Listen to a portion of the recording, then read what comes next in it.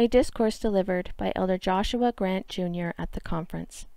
My friends, as an opportunity presents itself and I am requested by my brethren to speak to you, I cheerfully embrace the present opportunity and address you for the first time from this stand.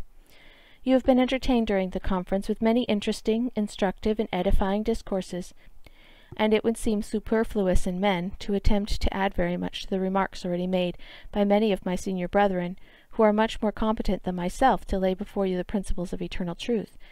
But having been called upon to address you, I embrace the present opportunity with cheerfulness, and feel happy for the privilege that I now enjoy of communicating as well as being communicated unto, after so long an absence from your midst.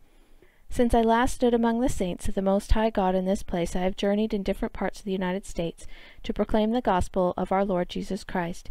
My voice has been heard in many towns and villages far from here, who had not before been made acquainted with the principles of salvation, as made known in these last days. And my labors have not been futile, for the Lord has blessed my humble endeavors to propagate the gospel of truth, and I have been an humble instrument in his hands, in bringing some few to a knowledge of the truth as it is in Jesus, who are now rejoicing in the liberty wherewith Christ has made them free.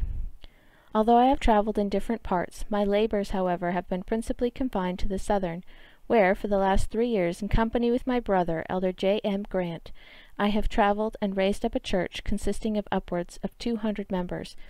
In looking at the large concourse of people that now present themselves before me in this conference, my mind is carried involuntarily to other scenes, and I am reminded of the situation of this church, when in its weakness and infancy, which, contrasted with its present numbers, respectability, and influence, was but a drop in the bucket, and bring with renewed force to my mind the great work in which we are engaged, and that, as God hath, has hitherto put forth his hand to defend his people in the day of adversity, that, as they have, in their weakness, baffled all the attempts of wicked and designing men, aided by the powers of darkness, to overturn and destroy them, that, as they have hitherto been aided by the arm of omnipotence and sustained by the power of Israel's king, that if they still continue humble and faithful, the same power, the same intelligence, the same care, will yet sustain his own people, bring to pass all the things spoken of by the prophets, gather his elect from the four winds, and crown the saints with glory,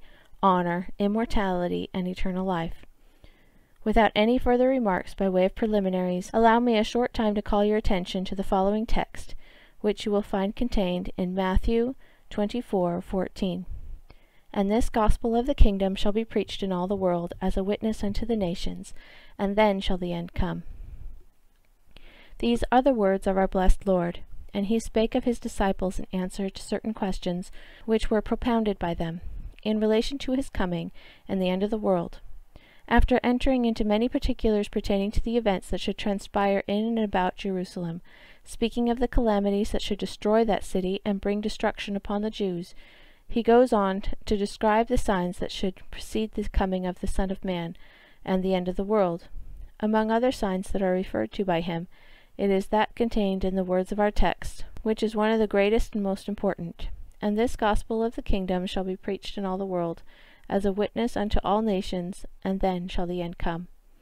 In all the dispensations of the Lord, and in all his dealings with the children of men, he has pursued one uniform, undeviating course, Though the earth by revolutions may have changed, and man has been wavering and fluctuating, God has declared concerning himself, I am the Lord, and I change not. And wherever we can trace the dealings of God with man, we shall find that they have been unchangeable. He has always taught men by revelation. In regard to the gospel, it is a principle that has always existed in all ages where God has had a pure church. And if the children of Israel were placed under a schoolmaster and the law was added, it was because of transgression, and not because of the changeableness of God. For he has always pursued one uniform course, to edify, instruct, and give the world a knowledge of his law, and in unfolding the principles of truth to the human family, he never instructed them at random, nor suffered them to go according to their notions, or at the bidding of men. They never wage a warfare at their own charge, but they were endued with power from on high, wisdom and intelligence, was given through the great source of the priesthood, which God has given to regulate the affairs of his kingdom, and thus being allowed to qualify by the wisdom and intelligence that God has imparted, they were prepared to unfold the gospel of Jesus Christ to a fallen world. If this has been God's way of dealing with the children of men, it naturally follows that it will continue to be, and if the preachers of the gospel in primitive days were thus called and empowered, it follows as a natural consequence that it will continue to be, and that, as God is immutable and unchangeable, whenever he calls men to any age of the world, he will qualify and inspire them in the same manner. And if they are thus taught, whether in this age, in ages that are past, or that are yet to come, there will be a uniformity of doctrine and ordinances. They will teach the same things. There have been many who have professed to be called of God, but their doctrines have been diverse, and their ordinances conflicting. The reason of this difference is that they had not been taught of God, nor inspired from on high, but their leading has been mere, merely scholastic, and their wisdom of the science of men. Thus situated, it is impossible that they should teach correct principles, for man is finite and fallible, and God is infinite and infallible, and it is impossible for the people of this or any other age to comprehend the Creator without being taught of him. The disjointed manner in which sectarianism has placed the gospel renders it extremely ludicrous, one having taken on part, and another part. Now the ordinances, gifts, and powers of the gospel are not one, but many. Yet being many, they are not divided, but the one gospel, proceeding from the same Spirit. One, two, nor three items do not compose the gospel any more than if we were to take two or three leaves out of a book and call it a book. As it takes all the leaves to make a book perfect, so it requires all the ordinances, gifts, blessings, powers, and priesthood of the gospel to make it complete. It may, with propriety, be compared to a chain, which, if any link is broken, it destroys the force of the whole. So, in like manner, if one principle of the gospel is destroyed, it renders the whole imperfect. The Saviour told his disciples to teach all things whatsoever he had commanded them. Hence this gospel, in all its parts, must be preached to every nation before the Messiah will come, and men must be inspired to prepare them for the accomplishment of so great a work. According to the statement of the Universal Geography, there are 3,026 different languages. It must be obvious to every reflecting mind that it is absolutely necessary for the gifts and powers of the gospel to be restored before the gospel can be preached to all of those nations and tongues. And if it is not, the Messiah cannot come. For the preaching of the gospel to all nations is one of the great signs that must take place preparatory to the coming of the Son of Man. This brings to our minds forcibly the necessity of the gift of tongues in order that the gospel may be preached unto all nations in their own tongue. For the best linguist in the world cannot understand more than twenty different languages or tongues, and if they do not and cannot learn them, it is absolutely necessary that ministers of the gospel should be inspired with the gift of tongues, as the apostles were on the day of Pentecost, to prepare them for this arduous undertaking.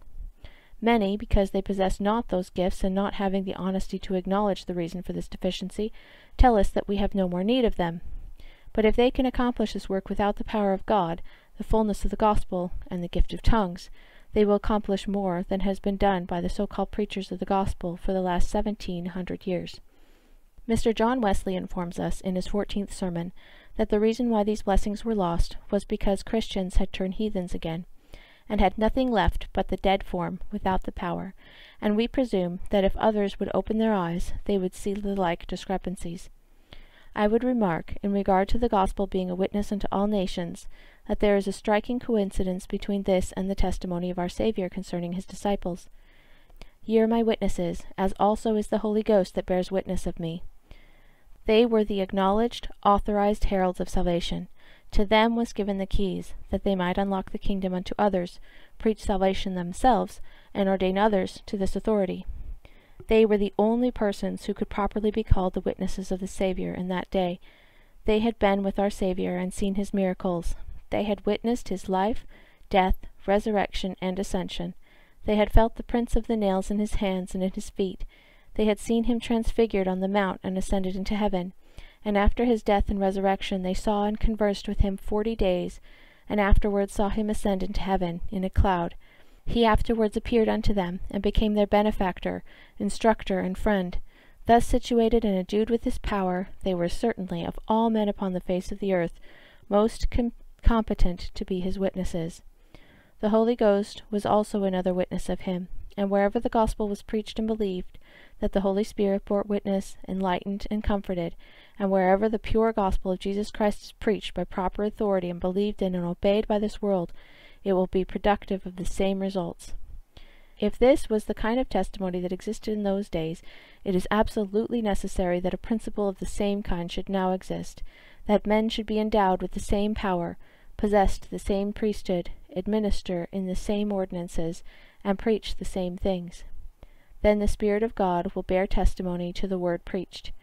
It will not come in word only, but in power, in demonstration of the Spirit, and in much assurance.